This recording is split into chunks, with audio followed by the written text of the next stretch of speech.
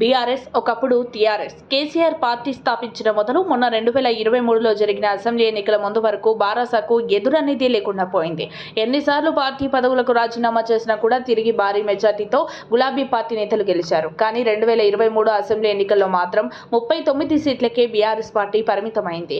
ఈ ముప్పై తొమ్మిది మంది బారాసా ఎమ్మెల్యేల్లోనూ ఒకరైన లాస్యా నందిత మరణించగా కొందరు కాంగ్రెస్లోకి జంప్ అయ్యారు తాజాగా సిట్టింగ్ ఎంపీలతో పాటు ఎంపీ బరిలో అభ్యర్థులు సైతం పార్టీని వదిలిపోయారు. వీరికి టికెట్ ఇచ్చినా కూడా బారాసా పార్టీలో ఉండే పరిస్థితి లేకపోయింది.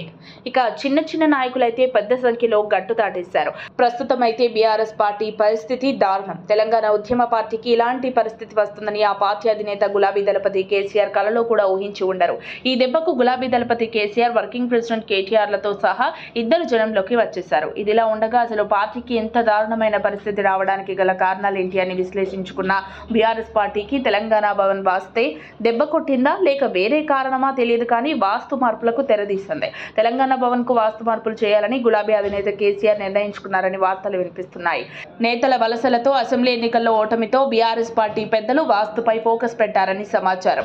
తెలంగాణ భవన్ ఇన్ గేటుతో పాటు ఎగ్జిట్ గేటు రాకపోకల్లో మార్పులు చేస్తున్నట్లు తెలుస్తోంది. ఇప్పటివరకు Telangana Bhavan in out BRS నేతలు వాయువ్య గేటును ఉపయోగించారు. ఇకపై ఈశాన్య గేట్ నుంచి రాకపోకలు సాగించాలని వాస్తు పండితులు సూచించారని బీఆర్ఎస్ పార్టీ వర్గాలలో గుసగుసలు వినబడుతున్నాయి. రాబోయే రోజుల్లో వాయువ్యంతో ఈశాన్యం వాస్తు బీఆర్ఎస్ పార్టీని గద్దెనెక్కిస్తుందా? పూర్తిగా కబలించేస్తుందా అనేది వేచి చూడాల్సిందే. మరిన్ని అప్డేట్స్ కోసం మా కాయ్ టీవీని సబ్స్క్రైబ్ చేసుకోండి. మా వీడియో కనుక మీకు నచ్చినట్లయితే లైక్ చేయండి షేర్ చేయండి. మీ విలువైన అభిప్రాయాలను కామెంట్ బాక్స్లో తెలియజేయండి.